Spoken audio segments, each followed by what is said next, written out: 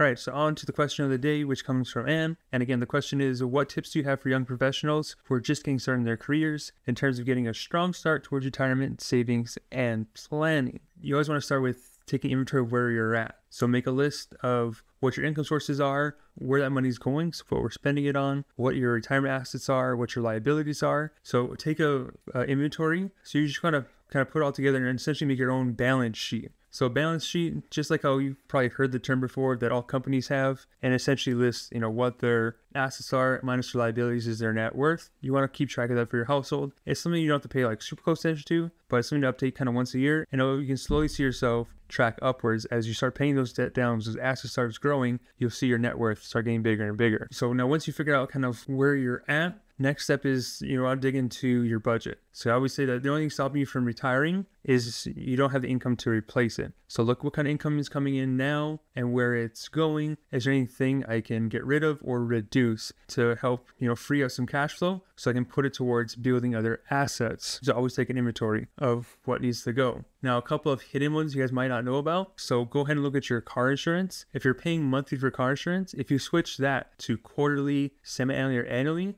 that alone could shave off a couple hundred bucks off of your car insurance bill. Other thing you can look at is look at your deductible. If you have a healthy emergency fund, you probably don't need your deductible being 100 bucks. You could probably increase that to $500 or $1,000 because when we have higher deductibles, typically means you're less likely to use the insurance. Otherwise, you just pay out of pocket. And the insurance comes reflect that in terms typically of lower premiums. So take a look at your property and casualty insurance see if you can increase deductibles or change the frequency of how you make payments. And that alone can usually free up a couple of dollars per year. Next step I'd go with is look where assets are sitting. Emergency funds sitting in big banks these days are doing squat and you're really making them more money than they're giving you. So right now, we're really good to use is something called high yield savings accounts. So just like the savings accounts I'm sure you guys already have, except these ones are typically online. They're still FDIC insured. There's typically no minimums. There's no fees. They just pay a lot more money than what big banks pay. And to put it in perspective, the average bank right now pays 0.06%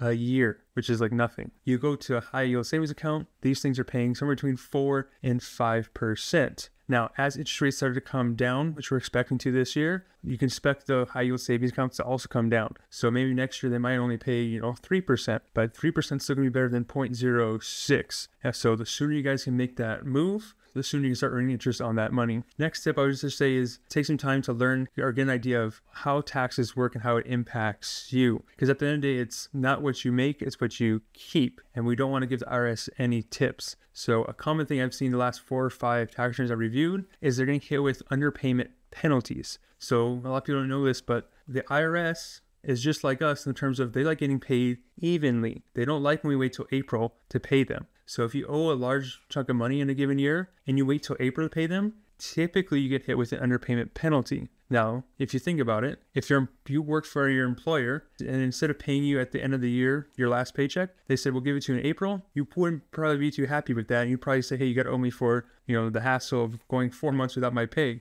IRS does the same thing. They like getting paid evenly. So when we wait too long to pay them, that's when you have penalties. So in case you aren't aware of it yet, the tax deadline is different than the tax filing deadline. So April 15th, that's the day you have to file your tax return. That's not the day taxes are due. Your taxes are due January 16th.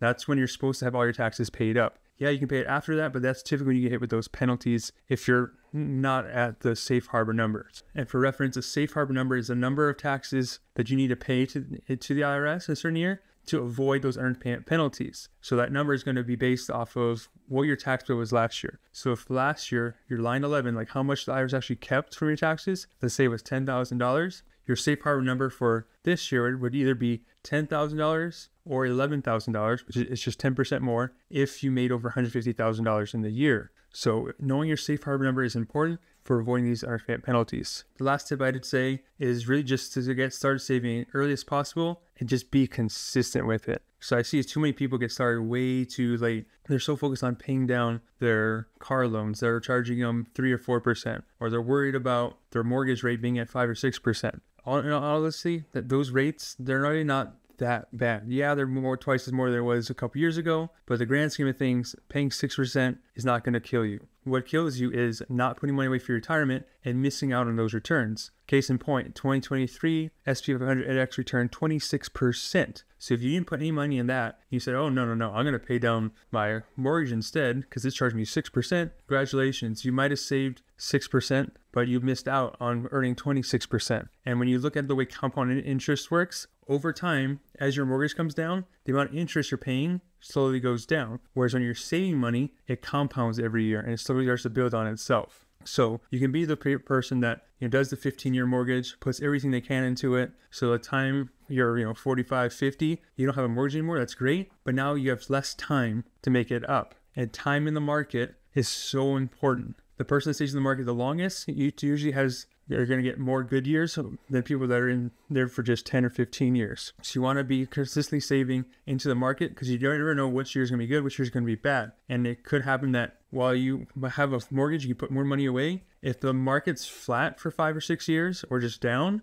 then it's not going to work out at all. So put money away first. Pay yourself first before you worry about paying down your other debt like that. Now, credit cards, different story. They're charging 25%. Absolutely pay that off. But when you're talking about low interest, you know, single digit numbers, I wouldn't be too overly concerned with paying them down if you're not adequately putting enough money away. Now, when it comes to what do I select, you know, what do I invest in? Obviously, it does depend on risk tolerance wise and stuff, but I took a big step in making it as easy as possible for you guys. So we have our, you know, Plan 3, our DCP, and 403B investment advice systems out there. So at any time, anyone watching this, come on, you can subscribe to the plan, and you just basically get to let us know what account you need help on, whether it's just Plan 3, just DCP, or both, and then you tell us what risk tolerance you want. So if you're young, you're probably going to be more on the aggressive side of things because you have more time in the market. If the money goes down by 50% tomorrow, you're not retiring tomorrow, so you can probably wait out the storm. So when you're young, you can be aggressive with it. Our models will tell you exactly what to purchase inside of those accounts and when, which is the really cool part, when to make changes to them. Now we have strategic models, which is kind of your buy and hold. So every